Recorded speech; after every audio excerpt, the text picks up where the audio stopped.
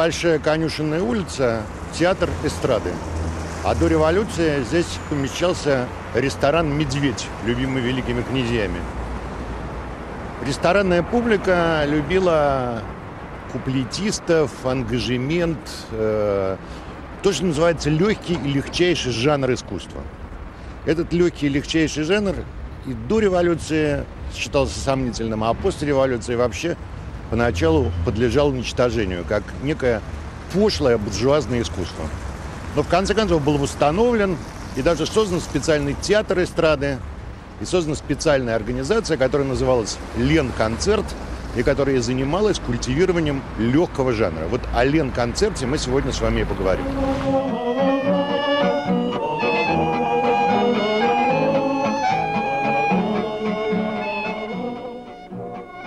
Каждый ленинградский артист и музыкант знал этот адрес. Фонтанка 41, Лен-концерт.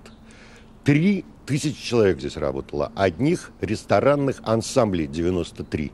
Лен-концерт окормлял музыкой, культурой, художественным словом весь наш огромный мегаполис.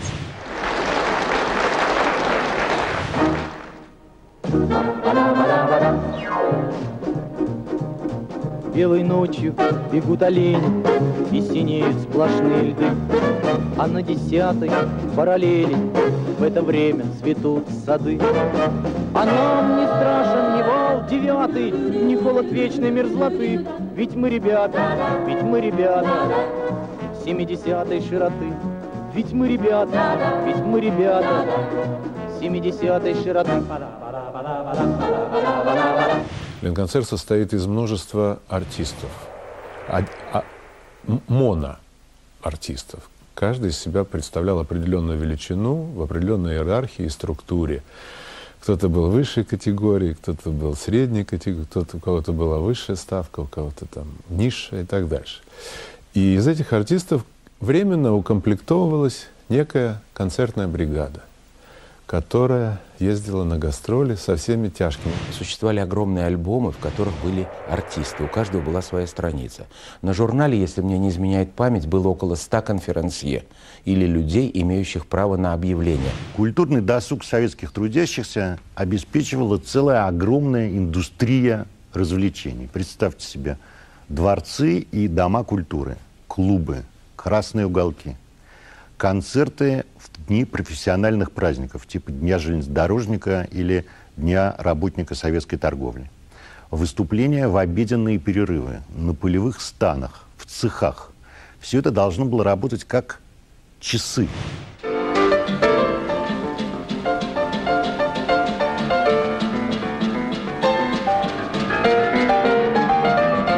Сборные концерты – просветительская история. Она придумана Луначарским в свое время, когда в одном концерте могли встретиться звезда драматического театра, а, академического, оперы, акробат, фокусник, э, певица, певец и цыганский ансамбль.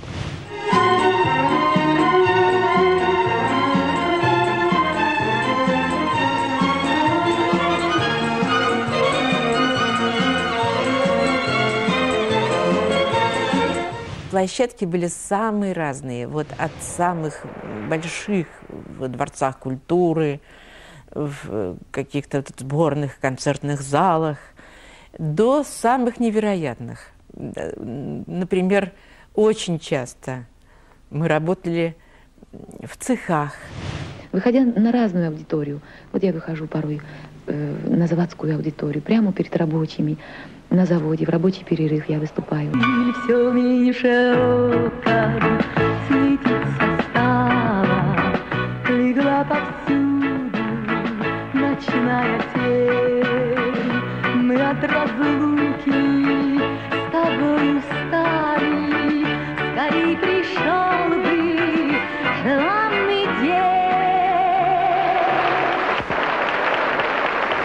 Действительно, люди, когда был обед, часть обеда предоставлялась сцена актерам, люди собирались в актовом зале и э, знакомились с какой-то программой. Это могло быть и художественное слово, это могла быть и музыкальная программа, это могла быть какая-то просветительская программа. И это все был Ленконцерт. У комсомольцев Ленинграда много добрых традиций. И одна из них – поездки молодых писателей, художников, композиторов с творческими отчетами на заводы, в совхозы, к студентам, к пограничникам, к тем, кому они служат своим творчеством. По размаху своей деятельности и объему обслуживаемой территории Ленконцерт был подобен маленькой армии, дисциплинированной и мобильной. Есть приказ дать концерт где-нибудь в чистом поле, в сотни километров от базы, и этот приказ будет выполнен вовремя и в срок. Мы были как бы не свободные люди, у нас не было ни, ни воскресных дней, ни, ни дней рождения, ни праздников, этого не было, потому что могли позвонить и сказать, сегодня работаете. Вот так это так называемом журнале здесь. Не обсуждалось, будет он участвовать в этом концерте или не будет. Не обсуждалось, поедет он на гастроли в самый отдаленный уголок или не поедет. Актер понимал, что он должен поехать. Гостиница, советский сервис, номер на двоих, клопы, кипятильник. Жизнь артиста в Советском Союзе – это не жизнь гастролера во Франции. А мы поехали на гастроли в Тюмень. И нам дали с Галей номер люкс. Ну, номер люкс, номер люкс. Она пошла в туалет, через некоторое время возвращается, говорит, слушай, ты знаешь, кто-то у нас в номере еще живет. Я говорю, такого не может быть, люкс. Она говорит, ну вот сходи. Я зашел в туалет, и вдруг слышу рядом с собой, ну просто вот как мы сейчас с вами разговариваем, голос. Может, два мужика разговаривают между собой, один другому говорит, Микола, а ты котлеты заказал? И я чисто машинально смотрю вниз и вижу вот такая дыра огромная. Оказывается, внизу ресторан. А около этого унитаза вот это там люкс такой. И мы потом спустились в ресторан, посмотрели, я говорю, посмотри, это наш люкс. Самое главное, суточные, как шуточные, шуточные, как мы их называли, 2,60. Были суточные, так что мы зарплату как бы не, не тратили на а вот на эти 2,60 нужно быть и сытым, и пьяным, да, и нос в табаке. Многим это удавалось. Еще и домой что-то откладывали. Ну.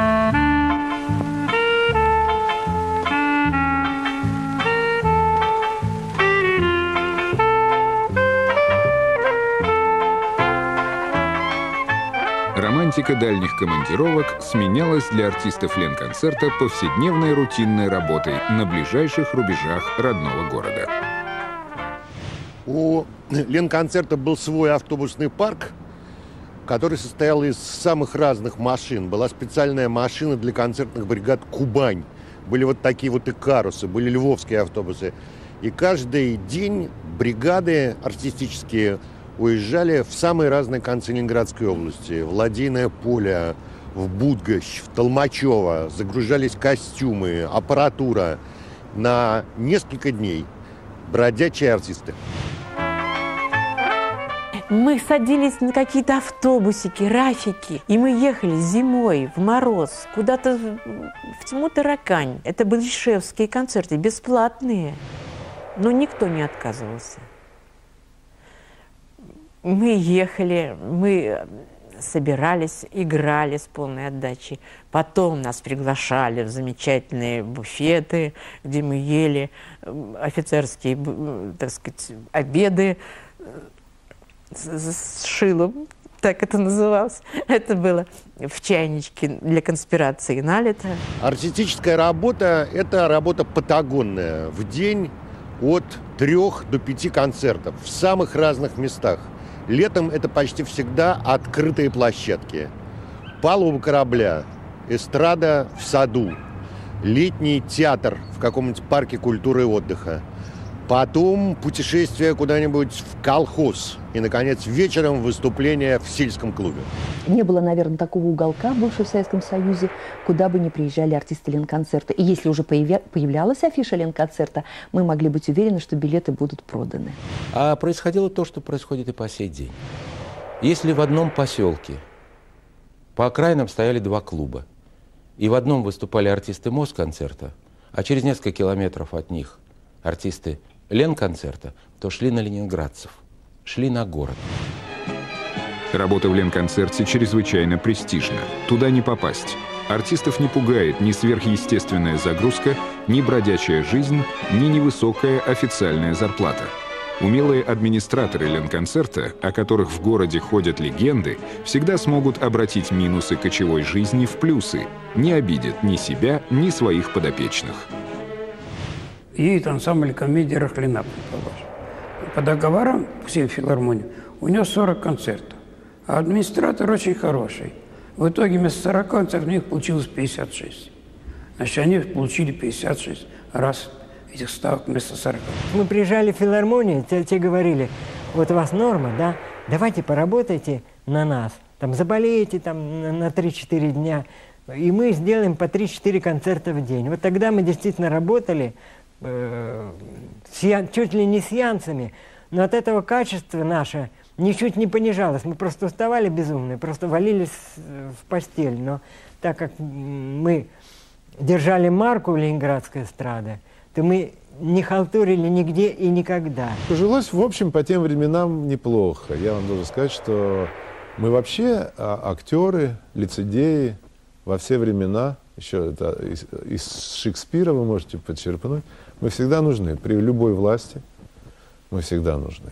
И э, это работа благодарная, потому что если ты отдаешь, чем больше ты себя отдаешь, тем больше ты получаешь взамен. Не материально, конечно, а в общении духовно. Одно только состояние души, что ты нужен, оправдывает твое существование. И, и это уже счастье. Вот он настал прощания, любить и ждать, обещай мне, и улыбнись мне на счастье, твои глаза запомню я, пройду я холод и ветер, превозмогу все на свете, я буду жить, я бессмертен, пока ты ждешь, любовь моя. Администраторы и режиссеры Ленконцерта каждый раз вынуждены решать очень сложную комбинаторную задачу. Надо построить программу так, чтобы на нее шел зритель, который хочет видеть звезд. При этом надо обеспечить работой совершенно неведомых народным массам, но вполне многочисленных артистов, которые тоже хотят есть. В программу надо непременно ввести что-то полузапретное, скандальное, на что всегда есть спрос. При этом репертуар должен оставаться идеологически выдержан, чтобы ни одна комиссия не смогла придраться. Тут были требования, которые иногда были очень неожиданные. Вдруг нам говорили ни слова о таком-то, ни звука о такой-то. И вдруг оказывалось, что вот вчера прославляемый нами какой-то Брос Тита из Белграда, из Югославии, становился проституткой. Перед худсоветом ко мне подошел наш музыкальный руководитель и сказал из самых добрых побуждений, «Марина, я прошу вас, не снимайте со стойки микрофон, потому что могут вас обвинить в подражании Западу».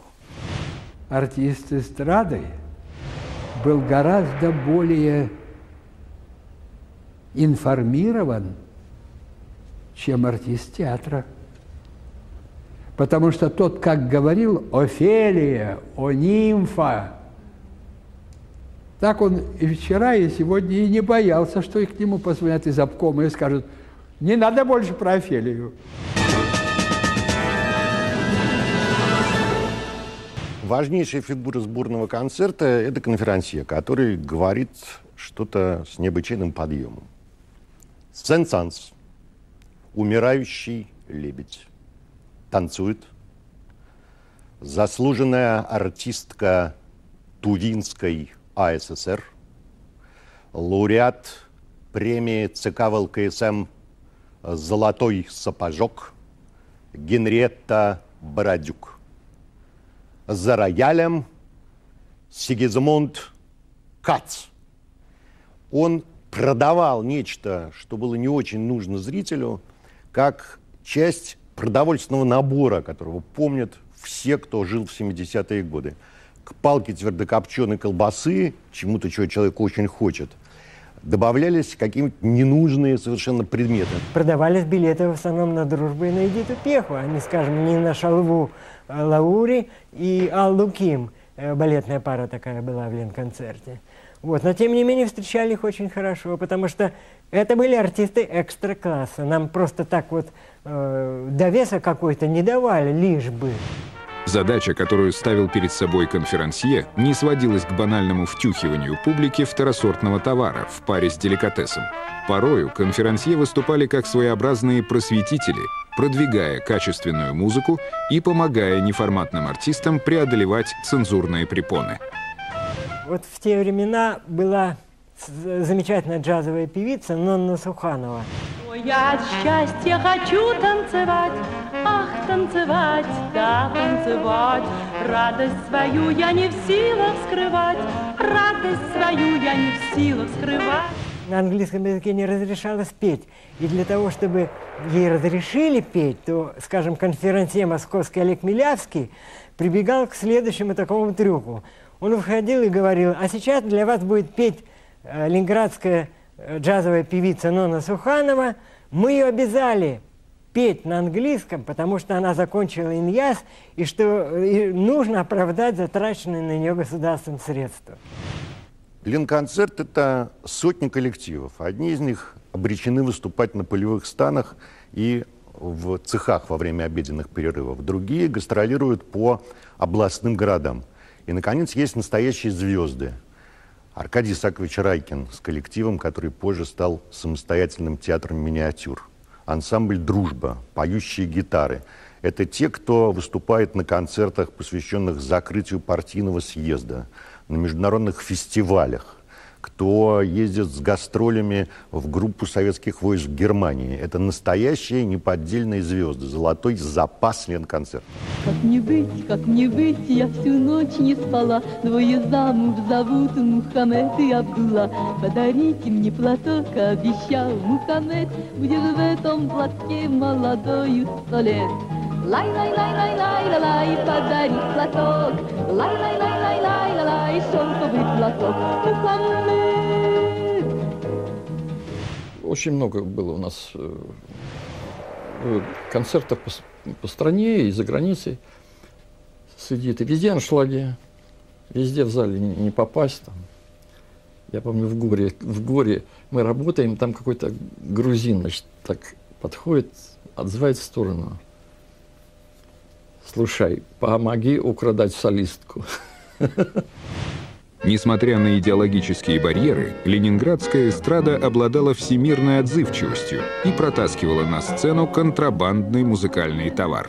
Так мода на французский шансон откликнулась Эдитой Пьехой и ансамблем «Дружба», созданным недавним выпускником Ленинградской консерватории Александром Броневицким.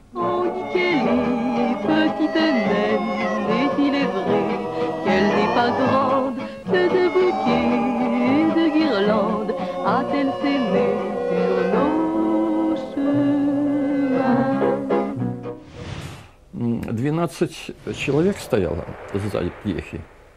12 все как бы выпускники, дирижеры, дирижеры хоровики, причем экстра, экстра класс.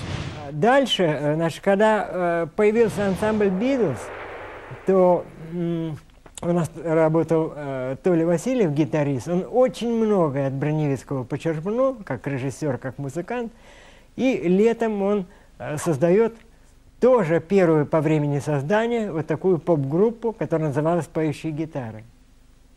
Это был тоже для Э, наших э, всех чиновников как гром разорвавшейся бомбы, потому что битлов все время у нас запрещали. И вообще можно было за любовь к битлам э, впасть в немилость у чиновников. Солнце нас спицам синего над головой, Ветер нам лица обгоняет шар земной, Ветры звезды, убегающие вдаль, Сядешь и просто нажимаешь на педаль. Дай, дай, дай, дай. Дай, дай, дай, дай. Дай, дай, дай, дай. Дай, дай, дай, дай. Каждую среду здесь, в этом зале, заседал художественный совет Ленконцерта. Умудренные люди с опытом, осторожные, понимавшие, что можно, что нельзя.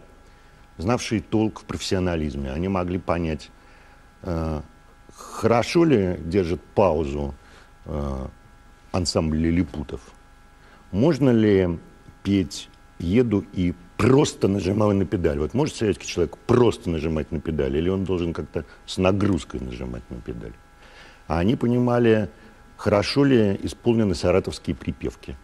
И вот множество артистов с замиранием сердца демонстрировали свои произведения легкого жанра и получали добро или совет поработать еще, переделать. А может быть и жесткий совет больше вообще не выступать на профессиональной сцене в таком прославленном коллективе, как Ленконцерт.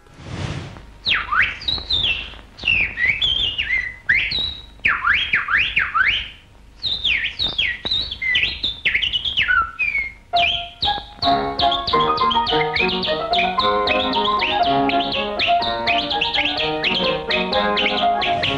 высокая была сцена, а зал такой узкий и длинный.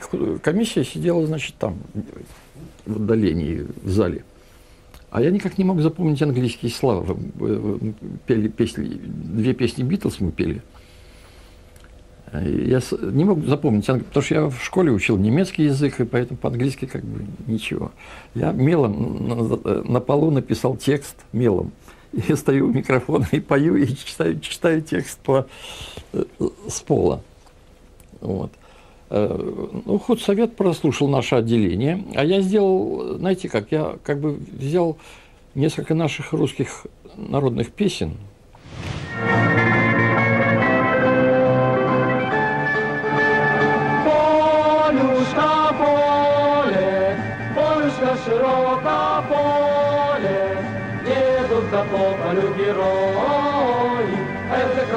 Армии герои.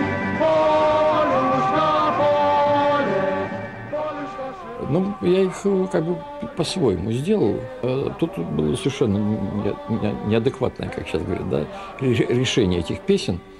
Ну, это как бы э, дало шансы на, на то, что нас все-таки возьмут. Искусство эстрады – это народное искусство. Попасть на концерт Пьехи или Сенчиной или Марии Пахоменко просто невозможно. Огромные очереди. Дворцов спорта тогда нет. И подарок, билет на концерт – это дар, сравнимый с тортом от Норда или приглашением в ресторан гостиницы «Астория». Не случайно молодой офицер Комитета государственной безопасности Владимир Путин приглашает стюардессу Людмилу именно сюда, на спектакль Аркадия Райкина. Так президент России нашел свою будущую супругу. Конечно, это было не то, конечно, это было не так, и, конечно, это было, прямо скажем, совсем иначе. Мы когда-то с родителями жили на Каме. Оно, оно широкое, широкое. Я бы сказал, даже очень, правда, время было не то, время было другое. Эпоха была жуткая, просто жутчайшая эпоха. Настроение было гнусное, и атмосфера была мерзопакостная. Но, тем не менее, рыба в каме была. Это была организация, о которой надо вспоминать только по-хорошему. Ведь что уходит и что остается? Концертная жизнь – это афиша, которая пожелтеет, аплодисменты, которые отзвучат, и имя, которое рано или поздно забудется. Но есть имена, которые не забудутся никогда. Это звон струны, ты — это свет окна, ты — это блеск волны, ты для меня одна, ты для меня.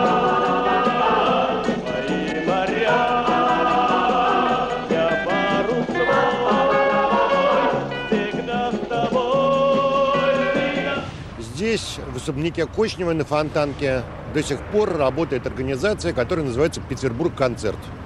«Петербург-концерт» — это остаток вот этой великой империи Ленконцерта. Ленконцерт – такая же часть советской ленинградской цивилизации, как общепит или ДОСААФ. Развалился Советский Союз, Ленинград стал Петербургом, и Ленконцерт – это мощное, рыхлое, но величественное здание развалилось.